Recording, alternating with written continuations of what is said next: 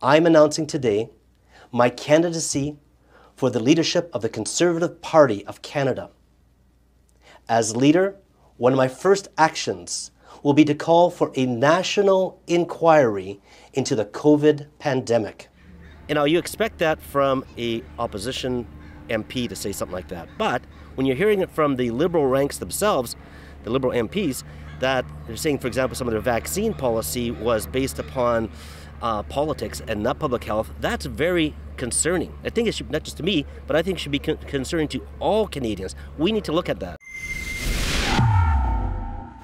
Warning, censorship. Warning, censorship. Well, the federal Liberals may have joined forces with the NDP to buy themselves more time, but that certainly hasn't slowed down the federal Conservatives' leadership race. Last I checked, there have been at least nine candidates who have put their hat in the race, including Pierre Poilievre, well loved on social media and who has been a tough critic to Trudeau many times in the public eye. You also have Dr. Leslyn Lewis, a lawyer with a degree in environmental studies who did very well in the last Conservative leadership race, and Jean Charest, former Premier of Quebec. I'm Drea Humphrey with Rebel News, and today I'm standing at Maple Ridge Memorial Peace Park because I'm going to be interviewing Marc Dalton, twice elected as an MP and formerly twice elected as an MLA. I'm going to ask him how he purports to be able to win your vote as a Canadian, standing against some of the other names, and also talk to him a little bit more about some of the promises he's giving to Canadians that stand out from the rest of all of the other MPs that we're hearing from so far.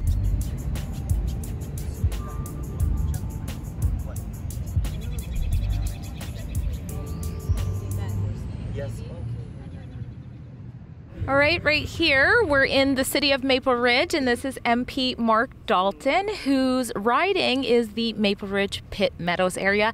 And recently, you announced you are part of the race. You're running for leadership of the Conservative Party. So thanks for being on Rebel News. It's great to be here, Drea. Now, I actually know you. I'm in the lower mainland, so I'm familiar with you for a long time. But for Canadians who don't know you that well, why don't you tell a little bit about your experience in politics and why now? Why decide to try to run this time? Well, I've been involved both at the provincial and federal levels for quite some time. Actually, the first time I ever got involved was in 1984 under Brian Mulroney and helping on the campaign. But uh, been involved in boards. I first ran for nomination in 2004 and and and tried federal, and then went provincial in 2009, something like that, and was in for eight years. So, running as far as federally has been on my heart for, for many years. So, and for me, it's not a matter of, oh, I need this for my bucket list of things to do. You know, I'm okay. For me, it's a matter of service. What can I give to Canadians? I am someone that likes to collaborate. I think that as far as a Conservative Party, we have to have, we need a big tent, okay?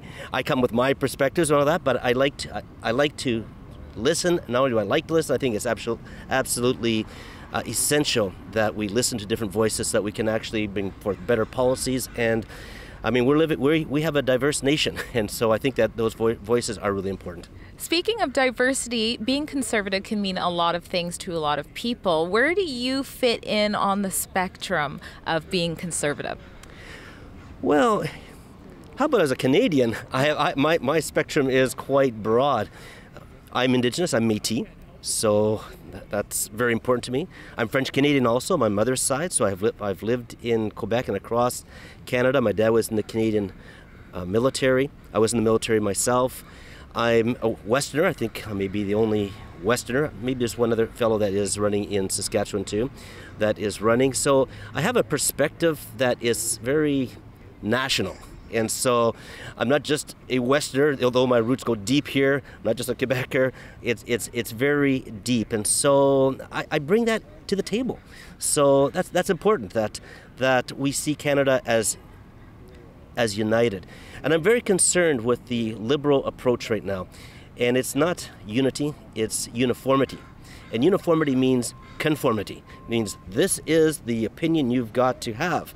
And if you don't have this opinion, if you don't if you're not broadcasting it, then you're at risk of being canceled. And that's that whole cancel culture I am very concerned about. I don't think it's right. I don't think it's Canadian.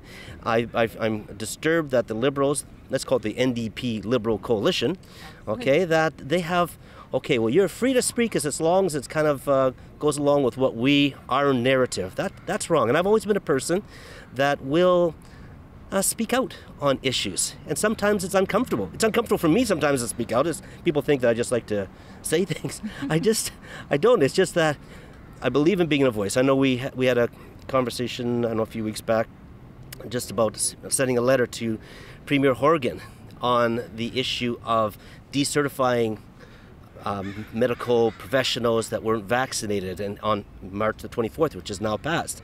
Bonnie Henry had said that earlier that day, it's not going to happen. I mean, it's going to happen, 24th, no changing that. I sent the letter out about an hour later, later to the news agencies and to the Premier. That night, there, there was some changes. So I was glad to be involved with that. How much of an influence it had, I'm not sure, but it was the same day, a few hours after I wrote the letter. So that that's positive. So, but that was that was uh, speaking out, and even on my announcement, I, I brought out some uh, issues that are, you know, I, I think that are important that aren't haven't been necessarily brought to the table. Let's play a couple clips from that because you're absolutely right. You said some things that I'm not hearing from other politicians. An inquiry into how much of the government's action was about political advantage rather than public health. An inquiry into the breaches of the Canadian Charter of Rights and the coercive measures that the government took to get people vaccinated. An inquiry into how much the government knew about vaccine injuries and deaths, and yet still wouldn't give people a choice. Now, you mentioned the V word, vaccine injury, and uh, that is definitely one of the things that I personally haven't heard as a journalist who covers a lot of vaccine injuries stories um, from anyone else. So, what made you decide to put that as part of your sort of campaigning platform? Yeah, so that's one piece of a public inquiry that I'm calling for. It's one, I think it's an important piece. But the first piece is let's have some accountability about how we doubled our national debt during this time. I think we need to look and examine what has happened here. It's not just this isn't you know it seems in some ways it's been a, a free for all, and so that I think we need to look at that. How effective has it been used? How much how much accountability has there been involved? That's one thing. I think I, another thing I mentioned is as far as how much of this was based upon upon uh, political political uh, opportunism as opposed to public health. You know, you expect that from a opposition MP to say something like that. But when you're hearing it from the liberal ranks themselves, the liberal MPs, that they're saying, for example, some of their vaccine policy was based upon uh, politics and not public health, that's very concerning. I think it should, not just to me, but I think it should be con- concerning to all Canadians. We need to look at that. Thirdly, I talk about the uh, the whole area of the contracts, because there seems to be evidence, and that's what we need to look into in a public um, inquiry, as far as how much of this was to liberal friends and buddies, because we have uh, there are some circumstances that are very suspicious, and do not put us put it past the liberals to make sure that they can get uh, have their friends take advantage of the situation. We look back to WE Scandal and uh, Jody Wilson-Raybould, what she had to say about SNC Lavalin. So, and then lastly, I talk about the vaccine injuries. And you're right, it hasn't been brought up. I hear a lot about it. I hear a lot about it from my, my constituents. And so, because of that, that's why I'm speaking up. I'm not trying to say here, and even this inquiry, that people should not be taking the vaccines. I'm saying that it needs to be a, a personal choice. You're talking about your person's health. And my question is how prevalent are these vaccine injuries? I mean, there are the, there are what the official sources are, but from what I'm hearing, it's a, there's a lot more than just what is officially, uh, officially uh, our injuries. So I think we need to look at that, and I'm extremely concerned if how much information the government knew about this, and yet still have been, I would say, coercive uh, with the mandates in forcing people to take, essentially force. They'll say, okay, we're not forcing you. You just can't travel. You can't visit your grandkids. You can't uh, go to. You can't do this. You can't do that. Um, we're not forcing you. You can't have a job with the federal government. We'll get, we're fired. Well, that's not coercive. I'm sorry, that's coercive. And so, how much how much of this is has to do with political advantage, this coercion? How much of it has to do with public health? How much did they know about about vaccine injuries? I think those are very important questions. Now, much of what you've been running on is freedom related and, you know, going the place where nobody else will go. And I think that over the last two years, with the erosion of civil liberties, there are a lot of people who've been waiting to hear that. So, how are you going to connect with the Canadians who are maybe disappointed with the Conservative Party because they feel like they wanted to hear these things earlier? Perhaps now they are PPC supporters, or perhaps they're saying there's no point at all, my voice isn't going to be heard, so they're not getting engaged. How would you connect with these people, these Canadians? Well, I think it is a concern, and I think that we did go, I believe, in the last election, maybe too much based upon polling. And I understand you want to win, but there are still some bedrock principles. And I feel that the base that we did not, the party was not listening to the base. It's like, that's concerning. That is concerning. I was hearing it door to door. I have, I can assure you that I have been speaking within caucus and outside of caucus on, on various times. If you follow my Twitter feeds, if uh, I had a situation a couple years ago uh, where I did a tweet speaking out, uh, could have been better framed. There's no doubt about that. But at the same time, it was becoming obvious to me even two years ago that this seems to be there seems to be some politics, quite a bit of politics involved here. I was quite concerned, and I'm not someone that was didn't believe in, in the COVID. A matter of fact, when it was not even really had not even struck with he, within Canada, I was probably more than anyone within the Conservative caucus bringing it forward, saying, "Listen, we need to take this seriously." I was actually talking uh, to others about maybe getting an emergency debate. This is before even the mandates happened. So, uh, and th- but after a couple months, it seemed like this is not what we're seeing in China and other places. I, so I do understand the concerns that people had, and I'm not saying that COVID is not real. I've had it a couple once for sure, and probably twice. Let's talk about the cost of living, um, gas prices, taxes, all of those things. What would be your plan for addressing that? Well, I think better control of the government expenditures, for one thing. The uh, financial budget officer has said this is out of control. They, they can't even go into the books.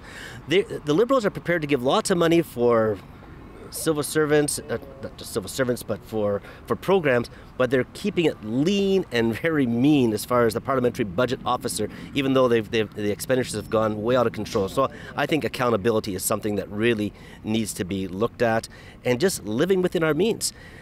And also, I, what's, what's important is not it's not for individuals. It's not just how much they make, but it's how much they keep.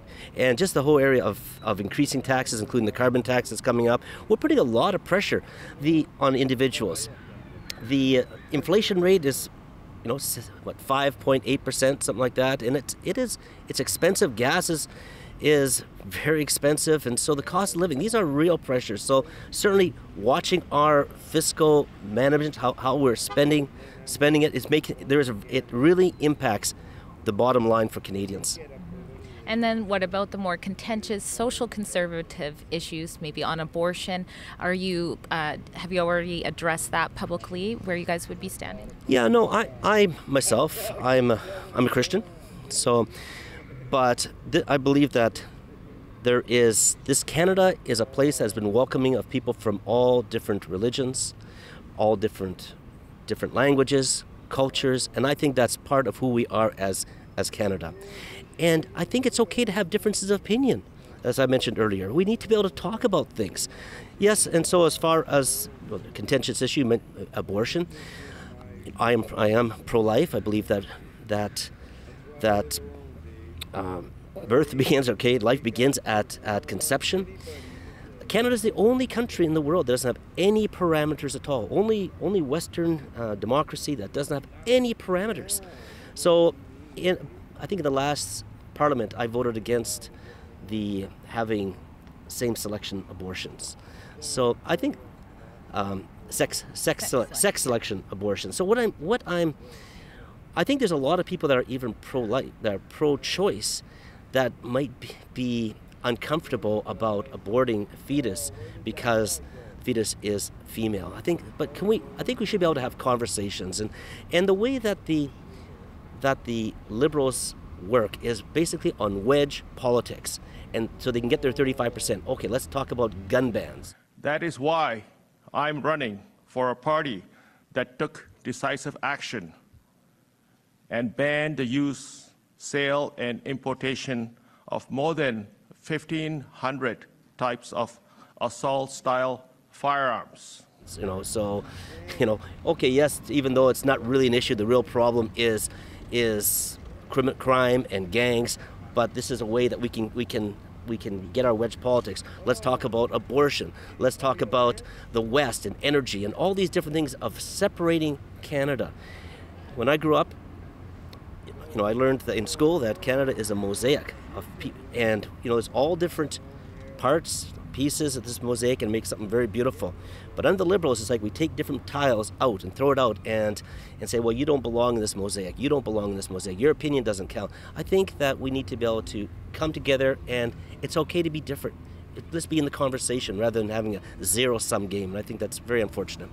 And what about the electoral process? I know that the Conservative Party has recently raised concerns about foreign interference, the possibility of that, and then we see the Liberals more recently are, um, you know, maybe going to be working on changing how many days there are for um, counting. What do you think anything needs to be fixed in this area, and if so, what would that look like? Well, I don't trust the Liberals.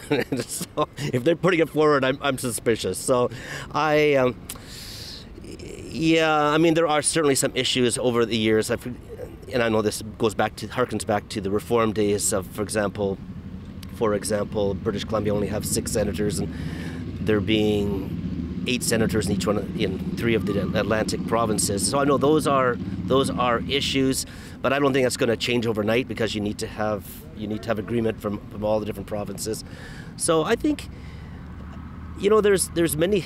I think it's careful that we don't fix, try to fix something that isn't necessarily totally broken. So if you try to bring in all these measures, it's like, what's the motivation behind it? And so yes, there are some some disadvantages to having a first past the post system, but at the same time, there are advantages that you normally get a bit more uh, stable government. But so I, I, think it's important to hear from Canadians of, with all different opinions. Now, is there anything you want to make sure the people, the Canadians watching this, hear from you? Well, for me, it really is about listening to Canadians and and uh, what are and especially right now, I'm running, running for the Conservative Party. For me, it's important to hear what is the base wanting. I want to hear. It's important to listen to the grassroots, and I think, as I mentioned, that there was a sense that you're not listening. You're not listening. You've left. It's almost like you've left us. You know, I think we need to get back to the roots. I think we need to listen to, to our conservative members, and I'm glad that there's, you know, I'm hearing some enthusiasm within the leadership race. I think that's positive, and I'm glad to be a part of a part of it. I have some challenges. I mean, they have some. Uh, there are some qualifications. You have to raise a very significant amount of money in the next little bit, and so you know I'm hopeful that will I'll be there, and so and I'm looking forward to, you know, being involved in this campaign. And speaking of those challenges, what do you think Canadians can resonate with you that would make them want to support you, want to don- donate to you, and want to ultimately vote for you? Well, I would say you're going to get someone with me that will not only listen, but someone that is will speak up and will persevere. I'm a person. If you look at my record, I've I know what politics is about. I've uh, you know I've I've I've won in a suburban riding. That's a very battle. It's a ba- battleground riding and I've lost. So I know, I understand politics. I also have that a broad life experience that I think that can resonate. I've been a blue collar worker with the Teamsters for, for a decade. I was a teacher for you know 15 over 15 years. I've been a pastor. I've been in the military. So I have that broad life experience. I'm a grandfather. I've got kids, you know. So for me, it's it's not about me. It's about my kids and about their their grandkids and our, ch- our children as a nation and their grandchildren. So it's generational. So I'm not here for just for today. I'm here for tomorrow and the and the future. And so I, you know, there, I've heard this uh, said before. The difference between a politician and a statesman is a politician will look at just the next election. A statesman will look at the next generation. And that's really is my heart, is to look at the next generation. All right, there you have it. MP Marc Dalton. Where should they go to find out more about you and your campaign? Go to Marc Dalton, that's M A R C, dalton.com.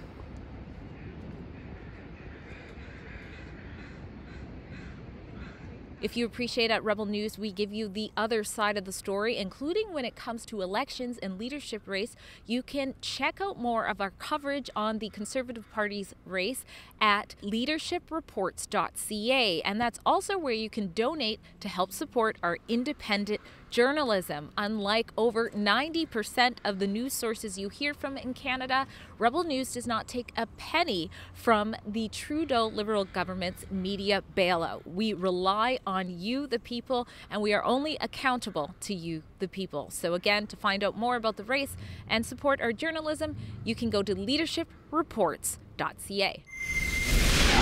In a democratic society, you are certainly not supposed to be censored when it comes to interviewing a member of parliament. However, this particular MP is speaking out about an issue that other politicians haven't dared to so far, yet we have covered it extensively here at rebelnews.com, and that's a certain type of injury that platforms like YouTube don't want you to hear about. So, to avoid the censorship and to hear from one of the candidates in the race for the Conservative Party, MP Marc Dalton, about what he has to say, I'm going to ask you to click on the link in the description. If you open up the box below, that will take you to the full uncensored report where you can hear from him the issues that he believes are concerning for Canadians and why he thinks he should have your vote at rebelnews.com. I'm Joy Humphrey, and I'll see you when you get there.